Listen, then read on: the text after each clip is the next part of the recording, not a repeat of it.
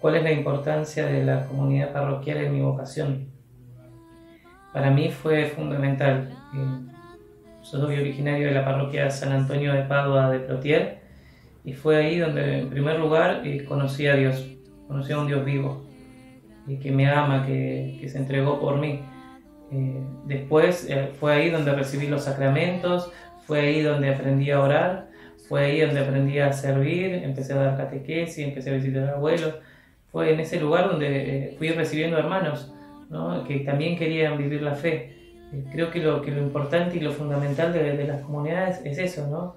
de que vivan intensa y profundamente su fe.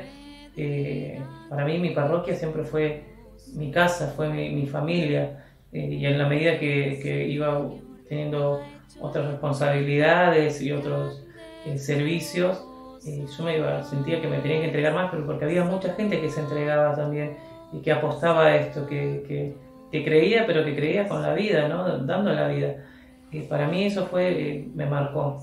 Yo mi, mi, vocación se la debo a, mi comunidad, eh, a mi comunidad en, en, Plotier, en San Antonio, en la parroquia, al Movimiento de la Palabra, donde participé un montón y aprendí a rezar, a escuchar la voz de Dios en su palabra, a la Pastoral Juvenil Diocesana, donde después de un tiempo empecé a participar y a acompañar y estar.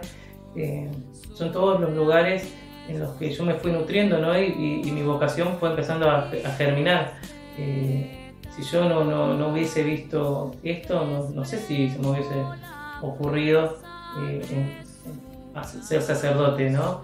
Eh, muchas veces me ha pasado que estando en parroquias, que, tanto acá como en Buenos Aires, que si bueno, con estas personas en la comunidad yo quiero quiero entregar la vida, ¿no? Porque sé que no voy a estar nunca solo como sacerdote, ¿no? Hay gente que también eh, pone su vida y la entrega y, se da al otro, se da a, Dios, se entrega al Evangelio y, que a, mí me entusiasma también a, seguir entregándome y a seguir dando y, creer que vale la pena.